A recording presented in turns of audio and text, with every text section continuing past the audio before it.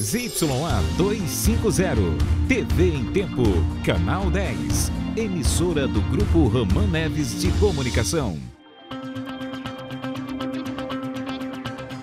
Incêndio em panificadora no São Francisco é contido pelos moradores. Índios invadem sítio no Tarumã, zona oeste de Manaus, fazem família refém e criança de 3 anos é ferida.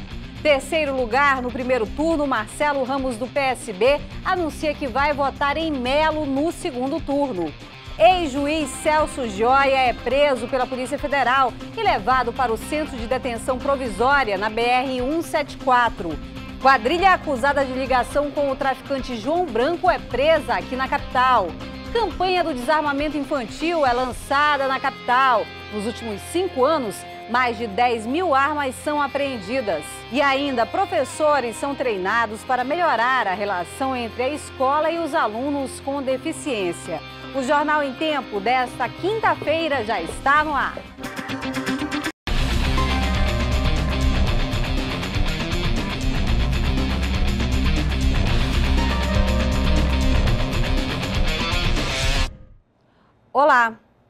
Na manhã desta quinta, um princípio de incêndio em uma panificadora foi contido pelos moradores. Foi no São Francisco, zona sul da capital. O fogo começou por volta das 8 e meia da manhã. Estava lá embaixo quando ouviu o barulho da, da chave da luz piscando, quando subiu, já se deparou com essa fumaça aí. A gente foi, saiu aqui na rua e estava todo mundo naquela correria, né? A gente foi, correu, pegou os nossos extintores para ajudar lá, que o dele parece que estava meio. não estava funcionando. Para o proprietário da padaria, a interrupção no fornecimento de energia ajudou para que o fogo não aumentasse. Para sorte, vi passando o pessoal da Manaus Energia, e eu pedi para eles cortarem a, a rede. Eles cortaram, foi quando a chama veio apagar. Ainda segundo seu José, um curto-circuito na caixa de energia do local pode ter sido a causa do incêndio. Ninguém ficou ferido. Em Manaus, a sexta-feira vai ser de tempo nublado a encoberto, mínima de 25 e máxima de 35 graus. Em Quari, Alvarães e Urucurituba, o tempo também vai ser nublado a encoberto, mínima de 23 e máxima de 36 graus. O ex-juiz Celso Gioi é afastado das funções de magistrado desde junho de 2009 por determinação do CNJ. Foi preso pela Polícia Federal nesta quarta-feira, em cumprimento a um mandado da Justiça Federal. A decisão foi tomada porque o magistrado estaria coagindo testemunhas de processos em que ele é parte. Celso Gioi é acusado de vinda de sentença, manipulação de processos, falsificação de documentos, formação de quadrilha, extorsão e corrupções ativa e passiva, além de desvio de recursos públicos. Ele foi levado para o Centro de Detenção Provisória na BR 174. Enquanto a carne vermelha teve aumento de preço, muita gente aproveitou o dia para economizar, comprando peixe mais barato em uma feira aqui de Manaus, onde o pescado é vendido pelo próprio produtor.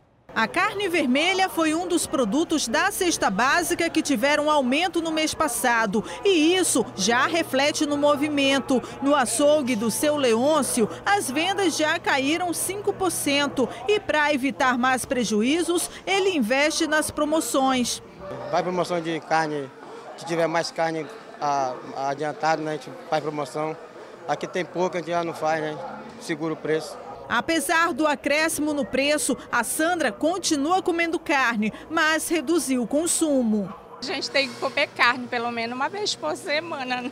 E para economizar nas refeições, a sugestão é levar mais vezes o peixe à mesa e pesquisar. Seu Francisco comprava o quilo do pirarucu fresco por até 20 reais. Hoje encontrou de 14. Achei o preço mais em conta. Estava à vontade de comer já um, um pirarucuzinho fresco. Está mais barato. O tambaqui também está mais barato. Economizou quanto hoje? Em torno de 30 reais. O motivo da promoção na feira da Turquato Tapajós é que quase tudo é vendido pelos próprios produtores. Seu Laureano trouxe os tambaquis do município de Careiro Castanho. Aí dá para dar um desconto de até 20%. Seu faturamento aumentou em quanto? Vamos dizer que assim, 30%. Uhum. Faz diferença já faz diferença.